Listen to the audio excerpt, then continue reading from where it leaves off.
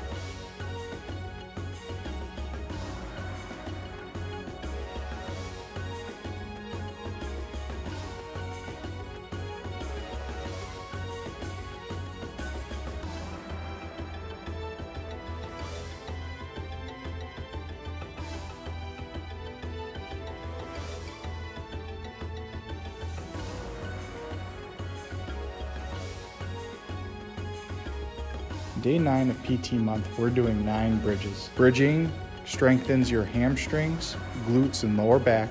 For any questions on how to bridge correctly, visit freedompt.com or give us a call at any of our four locations. Have a wonderful day and happy PT month. For day 11 of PT month, we're doing some balance exercises.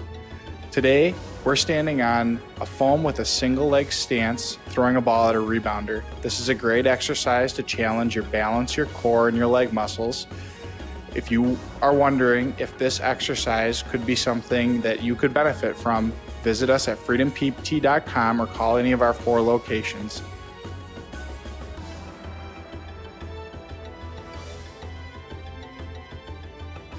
For day 13 of PT month, we're doing 13 monster walks. Monster walks are a great hip strengthening exercise that comes in many different variations.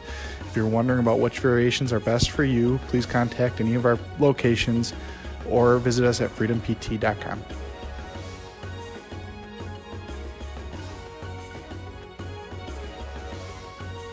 Here's a 15 second wall sit for day 15 of Freedom PT month. Wall sits are a great exercise to strengthen the legs and hip muscles.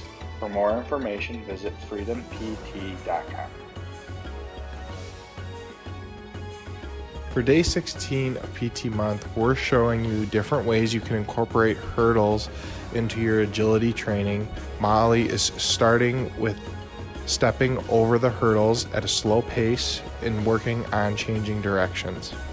Once she's comfortable, she's going to try to perform the course of the hurdles a little bit faster.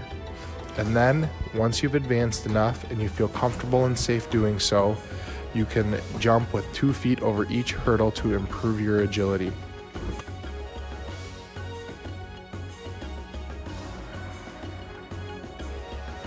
For day 20 of PT month, we're doing an awesome core and conditioning exercise called mountain climbers. Happy PT month.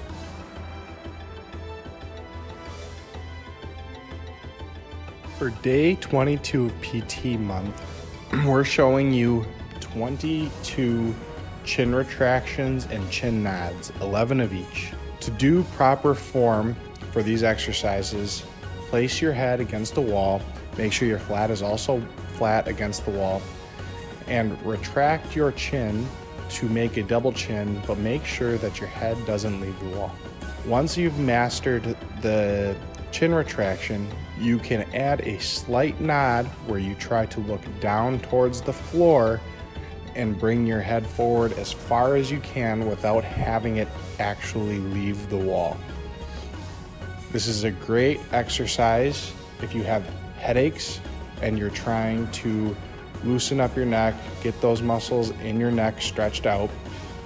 For more information on relieving neck pain, relieving headaches, visit our website at freedompt.com or contact us at any of our four locations. Happy PT month.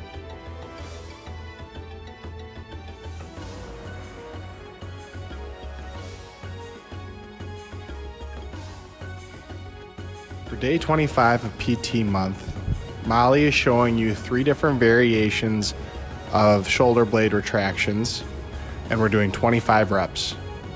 Shoulder blade retractions are an excellent way to improve your posture, build the muscles in your back, and make sure you get out of those positions we commonly get into on our day to day tasks when we sit too much or we're at a computer or we slouch on the couch. To do this exercise, you attach a exercise band around a fixed point and make sure that when you pull back, you squeeze your shoulder blades together as tightly as possible while also keeping your shoulders down and make sure that they don't track towards your ears too much.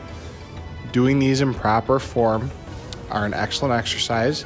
And if you're wondering what variations are best for you, contact us at freedompt.com or call any of our four locations. Have a wonderful day and happy PT month. For day 27 of PT month, Rachel is doing 27 Russian twists. This is a great core exercise if you've built up the proper core strength and are able to include this in your training. For any questions on if you should or not, please give us a call at any of our four locations or visit our website at freedompt.com. Happy PT month. For day 28 of PT month, we're showing you 28 ski jumps on an agility ladder. Agility training is very beneficial, can keep your knees and hips healthy, and keep you moving like you want to in your day to day activities. To find out if these are right for you, contact us at any of our four locations.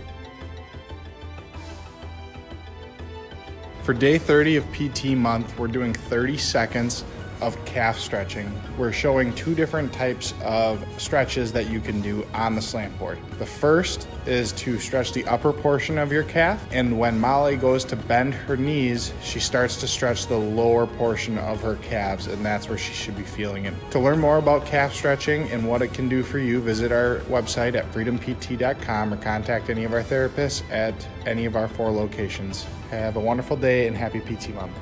For Day 31 of PT month, we're showing you a plank and push-up position. Planks are an excellent exercise that can be worked into any exercise routine. Thanks for following us through the month for tips and tricks, facts, and data about physical therapy.